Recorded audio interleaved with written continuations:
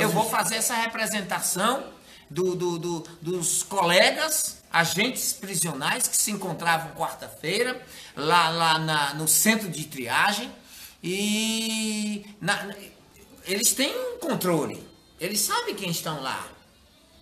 E também do diretor, porque uma casa sem diretor, até nove e meia, nove e meia eu na fila, esperei por muito tempo, até nove e quarenta, para ver se eu conseguia falar com ele, não consegui falar.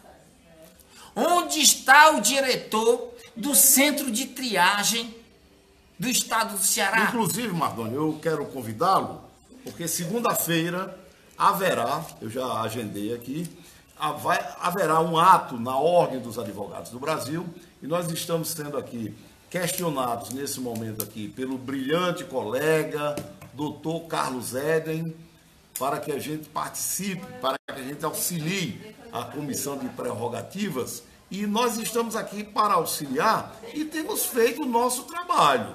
Apenas eu não posso me transformar. Carlos Eden faz parte da faz comissão. parte da comissão. Nós não fazemos parte da comissão. É te- nós não é- fazemos. É o tribunal. É, nós não, é faz- mais, não é mais comissão, é, não é nós não fazemos parte desta gestão.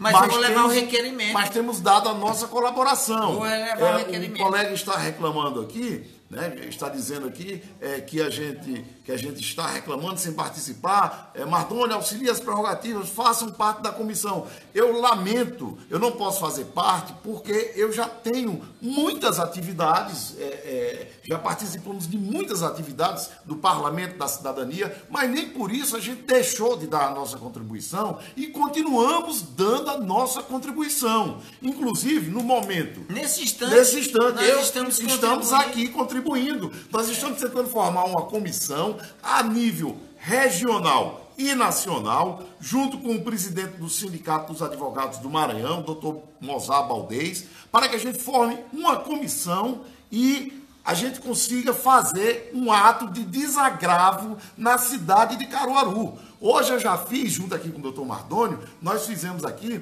um convite em 20 grupos aqui do, do, do Facebook, em grupos de advogados, notadamente de advogados criminalistas.